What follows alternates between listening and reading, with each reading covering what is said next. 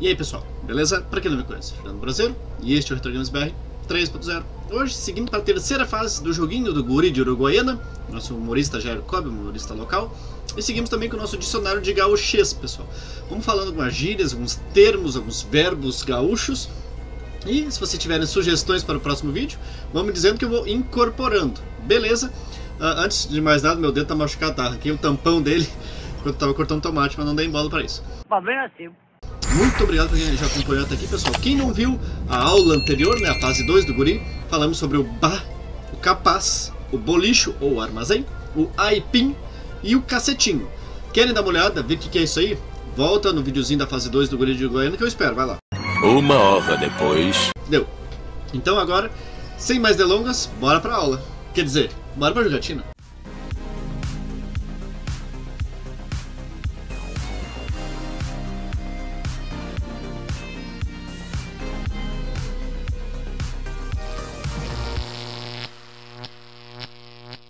Vamos selecionar novamente o Guri, que o Licur mantém-se bloqueado. Eu acho que eu tenho que zerar para liberar ele, ou devo ter uma determinada fase que eu consigo liberar ele. Vamos jogar a fase da Serra, pessoal. Já dando a primeira palavra, a primeira palavra é bergamota. Muitos já devem conhecer o que é o raio da bergamota. É a tangerina, a mexerica. Então é aquela frutinha que a gente descasca, os, uh, tira a casca, pega os gomos e come, rapaz. Bergamota é a tangerina. Para quem gosta de tomar suco e vai lá procurar, procurar o suco de bergamota, pessoal, não vai achar. Nem no Rio Grande do Sul, porque é todo paulista, é todo centro do país a gente. Mas se for procurar pela tangerina, é a mesma bergamota. Então a primeira palavra está aí. À medida que eu for morrendo, porque dificilmente eu vou passar isso aqui de primeira. se eu passar, vai ser fato inédito. Daí, à medida que eu for morrendo, vamos passando para as próximas palavras. Quase não deu. Massá, guri.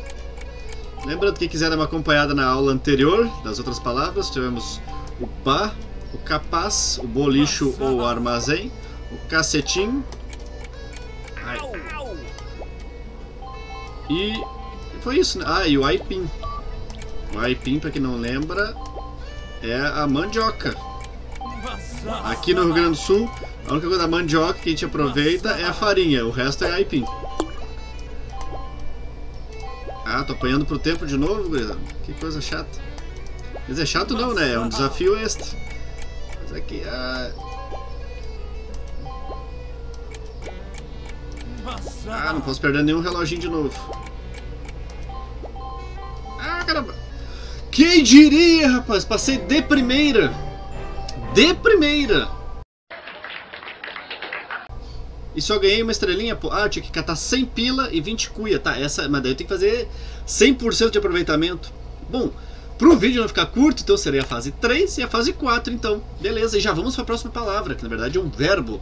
Lagartear. Vocês sabem o que é lagartear? Enquanto eu abro a próxima fase, vão pensando. Não sei.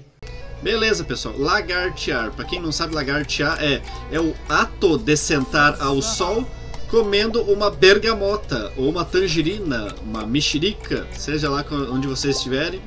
Mas sem a bergamota, é, o ato está incompleto, hein? É sentar no solzinho, às vezes sabe aquele friozinho que dá, às vezes, bah, tem um solzinho, ó, o bar entrando no vocabulário das pessoas. Tem aquele friozinho, mas apareceu um sol. Daí tu vai sentar no sol, ah, mas está incompleto isso. Daí tu pega uma bergamota, e vai comendo. Este é o lagartear. Você senta ao sol, pode ser numa cadeira de praia mesmo, pode ser no, num banco de praça, algum lugar, e come uma bergamota bem descansado, aproveitando o solzinho. Isso é o lagartear. Então, está apresentado, ao, acho que é o primeiro verbo que eu apresento do gauchês, né? O, ah, morri. O bal, capaz, entre outros, são expressões. Mas que barba é aquela expressão mais forte de todas, né? Depois do lagartear, já que eu morri, vem. Você quer substituir uma frase comprida, tem uma frase curta. Por exemplo, o que é que é que eu tenho a ver com isso? O que eu tenho a ver com isto? Você só fala assim, e o queco?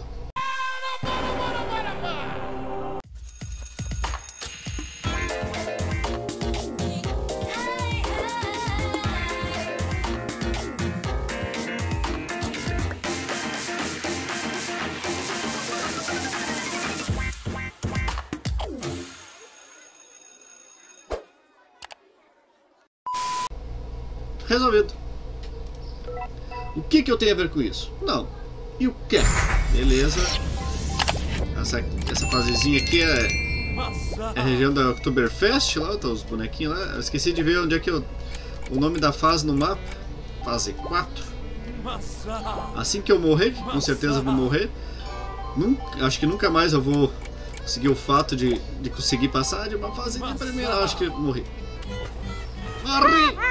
Mas que barbaridade. Próxima frase. Deixa eu só ver que fase que eu tô. Eu tô nos vales, rapaz. Santa Rosa. Aquela região ali que eu não sei. Geografia é uma parte ruim. Mas como eu morri, temos mais uma palavra, que é vivente. Vocês sabem o que é o vivente? Vivente é a pessoa, o rapaz, a pessoa. Enfim, tu vai falar de alguém, mas tu sabe aquele vivente? Ô oh, vivente, como você está? É o jeito de chamar pessoa, né? Pessoa, indivíduo, ser, é o vivente. Então já sabe. Vocês conhecem aquele vivente ali? Mas tu sabe, vivente. É assim vai. Ah, acho que vou morrer de novo. Ah, passei. Maçã. Qualquer dúvida, sugestão de palavra, pessoal, mandem nos comentários, por favor, que eu vou tentar contemplar no vídeo e sanar as dúvidas ou adicionar o nosso dicionário do gauchês. Que eu tô vendo que se eu morrer demais aqui, uh, vai, acabar vai acabar minhas palavras e eu não vou, eu não vou vencer a fase. Então eu vou recapitulando. Como a primeira fase me quebrou, passei rápido demais, agora na segunda eu tenho medo de demorar muito para passar nela. Aqui o meu problema é... Eu não sei cair direito nos bagulhos, sou muito atrapalhado. E percebam sempre nos cenários lá no fundo, pessoal, ele é bem legal. Ele retrata ó, alguns pontos da, das cidades que, e das regiões onde o, o jogo se passa, né?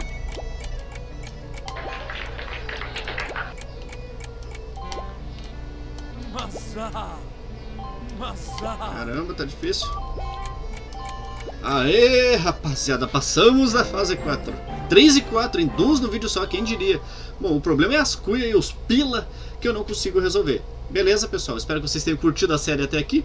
Vou seguir trazendo enquanto der. Se não der mais, não trago mais. Mas se o pessoal estiver curtindo, vou brincando. Vamos fazer nosso dicionário de gauchês também. Sugestões para adicionar ao dicionário? Manda nos comentários. Não tá curtindo? Manda nos comentários. Deixa o likezinho ou dislike. Se eu ver que tem dislike demais, o pessoal não tá curtindo, bom, eu largo de mão. Certo, pessoal? Muito obrigado pela atenção e até a próxima.